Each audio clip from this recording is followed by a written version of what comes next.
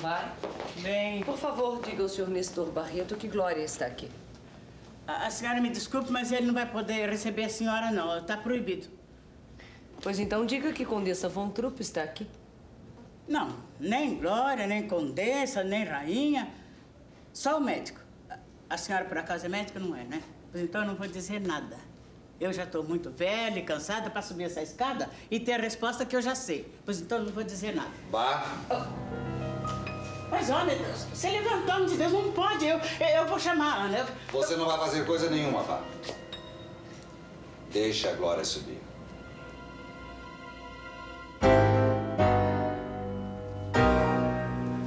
Fico feliz em vê-lo bem. Eu sinto ter decepcionado você. Você sabe que não é assim. É quase isso. Você me conhece tão mal.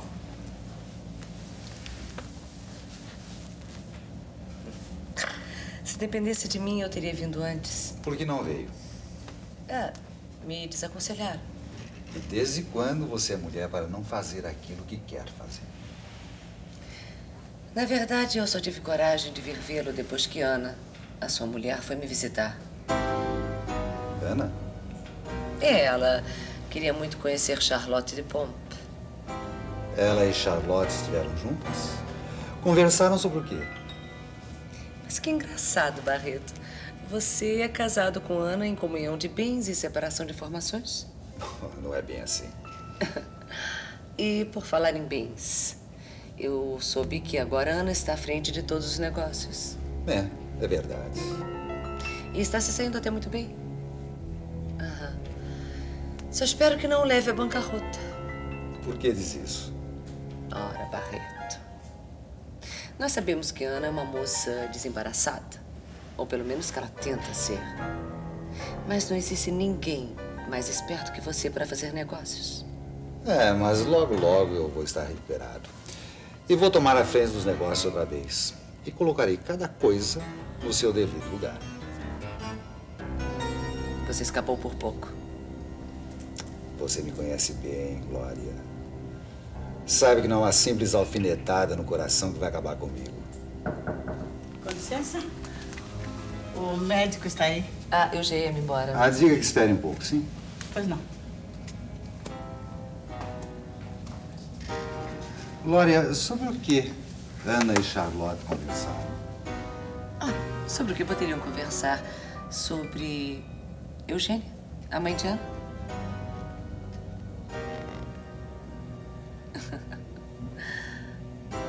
Que interessante, meu caro.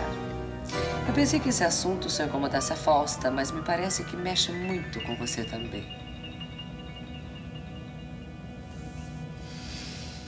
Eu gostei que tivesse vindo me visitar. Talvez eu faça outras vezes.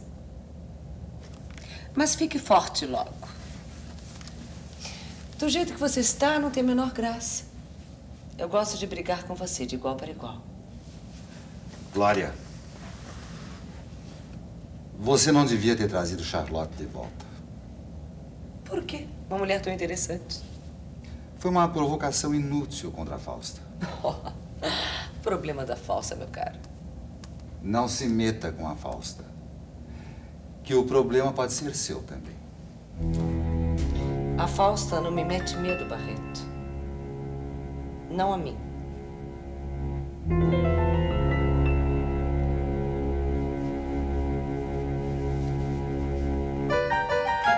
Pelo visto, a sua mãe era uma mulher com uma personalidade muito forte, né?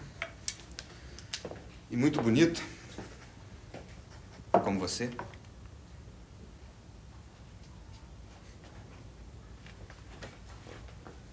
E por isso o Barreto se casou comigo. Você está vendo fantasmas onde não existe nada. Assim que o Álvaro chegar, ele vai ter que me contar tudo isso, viu?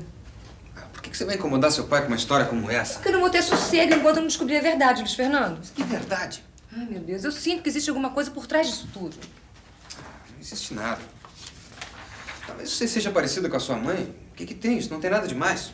Pra mim, tem. Por quê? Por quê? Luiz Fernando, eu sempre achei que a briga era entre meu pai e a tia Fausta. Depois eu descobri que não, que o Barreto também tá metido nisso.